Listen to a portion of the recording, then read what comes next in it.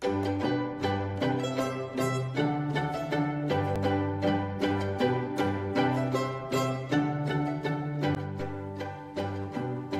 tardes señorita. He terminado el trabajo. Mira, y he elegido el arco. Mira, hay que pararlo.